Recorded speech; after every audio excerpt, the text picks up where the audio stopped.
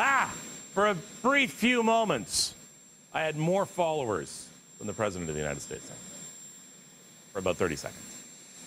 Uh, although he has been using a Twitter account under his name up until now, uh, he has created a uh, Twitter account that will belong to the President of the United States, POTUS, which is a well-known term for President of the United States. I don't know if the, I, I I'm wondering if they had to go buy that or anything. It, I, I, don't know if the, the account was taken. I'm sure it was. It because must if it been. wasn't, well, uh, you know, we're, we're all really dumb. But uh, FLOTUS was out there as well, the First Lady of the United Yeah. States. So Michelle Obama tweets under that one, and now President Obama has that. And there's a lot of uh, uh, welcome from, uh, you know, politicians, including Bill Clinton, saying, welcome to Twitter, uh, POTUS. One question, does that username stay with the office? Hashtag asking for a friend.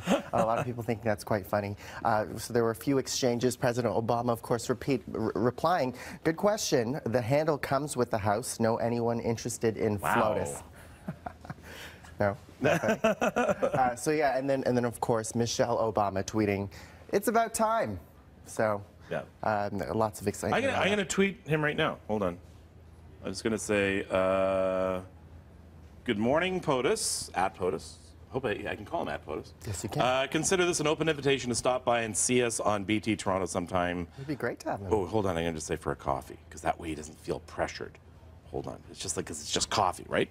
Well, in fact- we, we had the prime minister in not too uh, a couple years ago, right? Yeah, just for coffee. Yeah. Okay, so if you guys, I'm gonna do hashtag it, Retweet it. BT invite. Sure. So BT invite, uh, just retweet my last tweet, or, or send send something to POTUS and say, hey, stop by for a coffee here on Breakfast Television. He could just go out just for a coffee and then go right back to Washington. It's like a 45 minute flight. It is. 50 It is. minutes. It's Yeah, such, not that long. such a short, and that, that's Okay. a place I really Air want to go Force to. One probably like 15 minutes tops. Probably. Yeah. Speaking of social media, there's a really interesting story that uh, I, I thought we, we could chat about as well. Um, this is a, a story of a woman uh, who was fired after she disabled her tracking app that tracks her location. This is an app that she had on her work device. Um, that uh, what is the app called? I have it over here as well. Uh, it's called Xora. That's it. Uh, and and a lot of companies make you install these on your work phones, and it tracks where you are, what apps you have on your phone, who you text, who you call. What does she do for a living, on. though? That, th- this is important. Okay, let's see. Uh, she, uh, it was in the delivery business, and uh, Okay. so enough. Sorry. No think? case. Case No closed. case? No. If if you have a job that your employer needs to know where you are, such as a delivery, and and they have tracked delivery people for years. Yeah. This is not new. Uh, but if it requires your employer to know where you are to make sure all their, their movements are going efficiently, then then I'm sorry.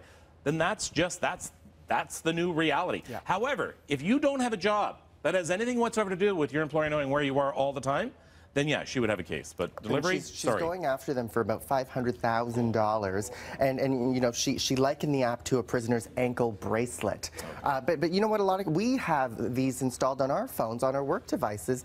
It is it's corporate device management. Should you be let go one day or should you be terminated one day? It disables all this stuff. Okay, I'm going to have to interrupt you here for some Yeah. breaking news because Okay. this is just breaking right now. Uh, we've just got word in this shooting out in the Danforth has now turned officially into a homicide. A man rushed into St. Mike's Trauma Center just after 1 o'clock this morning after a shooting at Danforth and Coxwell. Uh, he was taken in a very serious and life-threatening condition. He has now been pronounced dead at hospital. Police are still investigating at the scene and checking out the scene, still looking for any witnesses as well. So uh, Danforth is closed still in the uh, Coxwell area this morning and will be now for the rest of the rush hour as police continue with this investigation. Mel will be there live for us coming up uh, a little while here on Breakfast Television. We get the very latest from her as well. So I apologize for uh, interrupting uh, at that point. Just want to make sure we get that news across for you this morning.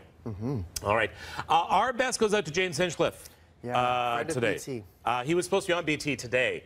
Uh, injured, of course, over the weekend. Uh, leg surgery, I think, is going on today. Yeah. This is the. This is. Oh wow.